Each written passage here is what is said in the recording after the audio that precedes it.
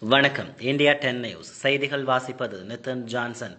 கருப்பு பூஞ்சை நோய் மூளையை பாதிக்கும் உயிர்கொல்லி நோய் காது மூக்கு தொண்டை நிபுணர் எச்சரிக்கை. தமிழகத்தில் கொரோனா நோய் தொற்று எந்த அளவிற்கு பரவி வருகிறதோ அதே அளவிற்கு தற்போது கருப்பு பூஞ்சையின் தாக்கம் அதிகரித்து வருவதாக கூறப்படுகிறது. தற்போது திருச்சி மாவட்டத்தில் மட்டும் சுமார் எண்பதுக்கும் அதிகமானோர் இந்த கருப்பு பூஞ்சை நோயால் பாதிப்படைந்துள்ளனர்.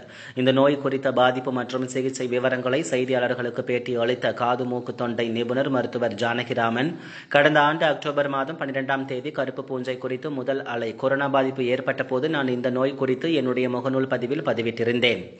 ஆனால் அப்போது யாரும் இதை குறித்து கவலைப்படவில்லை. கருப்பு பூஞ்சையானது ஒரு உயிர்கொல்லி நோய் என்றும் இது கொரோனாவால் பாதிக்கப்பட்டவர்களுக்கு அதிக அளவில் வருவதற்கான வாய்ப்புகள் உள்ளதாகவும் தெரிவித்திருந்தேன். இந்த கருத்து பொய்யானது என மறுப்பு தெரிவித்தனர்.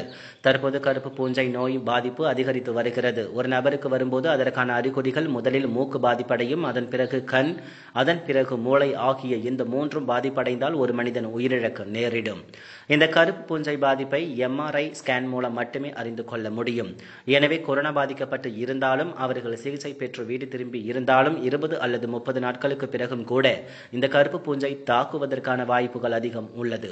இதற்கு முக்கிய காரணம் நாம் பயன்படுத்தக்கூடிய முகக்கவசமானது. ஒரு முறை மட்டுமே பயன்படுத்தக்கூடிய முகக்கவசங்கள் மட்டுமே பயன்படுத்த வேண்டும். தொடர்ச்சியாக இரண்டு நாள் ஒரு வாரம் என்று முகக்கவசங்கள் பயன்படுத்தக்கூடாது. குறிப்பாக இந்த நோய் சர்க்கரை நோயால் பாதிக்கப்பட்டு கொரோனா பாதிப்பு ஏற்பட்டு இருந்தால் அவர்களுக்கு இந்த நோய் வருவதற்கான வாய்ப்புகள் அதிகம்.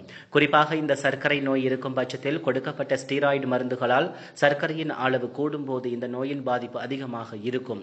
தற்போது அதிக அளவில் கருப்பு பூச்சிகள் பறந்து வரும் நிலையில் வெள்ளை பூஞ்சை மஞ்சள் பூஞ்சை என்ற நிறங்களை வைத்து பிரித்து கூறக்கூடாது. ஒவ்வொரு பாதிப்பும் ஒவ்வொரு வகையான இழப்பை ஏற்படுத்தும். எனவே ஒவ்வொரு பூஞ்சை நோய்க்கும் தனித்தனி பெயர் உண்டு. அதை வைத்து சிகிச்சை மேற்கொள்ள முடியும். இந்த கருப்பு பூஞ்சை பாதிக்கப்பட்டவர்கள் கண்டிப்பாக அறுவை சிகிச்சை செய்து கொள்ள வேண்டும்.